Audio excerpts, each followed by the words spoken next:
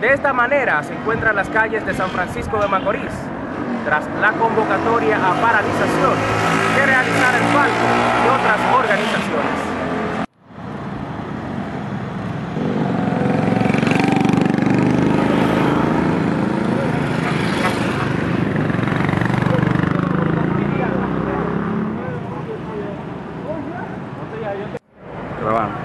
Raúl, el movimiento, ¿cómo se está desarrollando Mira, el movimiento se está desarrollando en los sectores que hay movilizaciones, se están desarrollando eh, como lo planificamos, eh, con mucha prudencia, tratando de que las autoridades puedan ir a resolver esos problemas que le han planteado y que ellos han cumplido con los acuerdos que hemos hecho.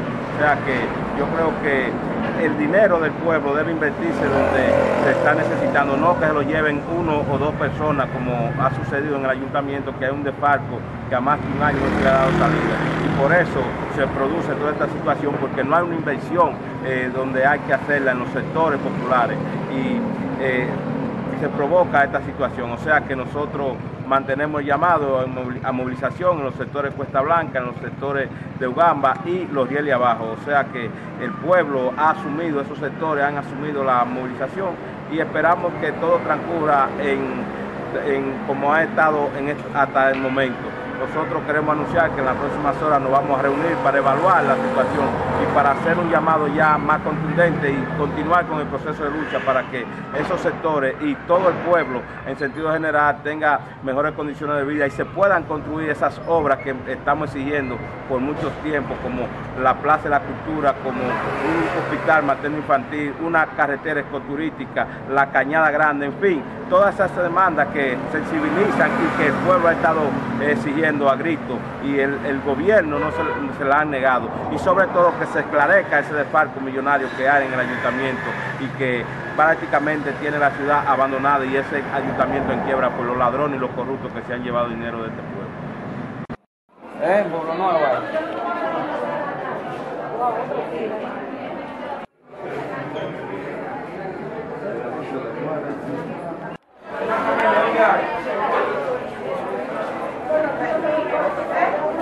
pasó aquí? ¿Qué pasó un tiro, fue un tiro. Un tiro. Yo, yo andaba con yo andaba en zapatos. Yo andaba comiendo. ¿Dónde fue eso? Abajo, abajo. No sé dónde. Morán, frente a Morán, Reyes. ¿Qué nombre tuyo? Yo, yo. ¿Dónde tú resides? No, yo, yo.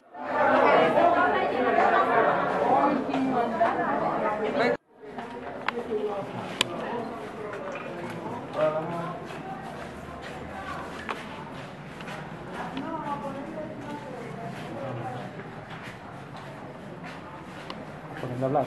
Sí. ¿El nombre tuyo? ¿Qué? ¿Qué fue lo que sucedió? Yo iba cruzando, me dieron un tiro. ¿Cruzando por dónde tú ibas? De la ¿Habían disturbios en ese momento? Es para afuera, tú vas a sacar de parte Entonces, ¿fue la policía? Dale para. ¿Fue de la parte de la policía aquí? Don. ¿Cómo que te dicen? Don, no es que Gracias. Pero que quede para allá el doctor. Vamos. No, no, no, después el doctor viene un buen show. Dale, abre. Abre, portero.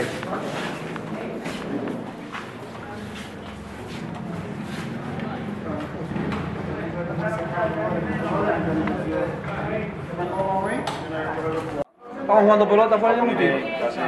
había disturbios por esa zona, en ese momento. Ahora, para allá arriba no había disturbios, es para abajo que están, hay disturbios, pero para allá, para la parte alta, para allá no, no había disturbios. ¿Quién cree usted que No se sabe.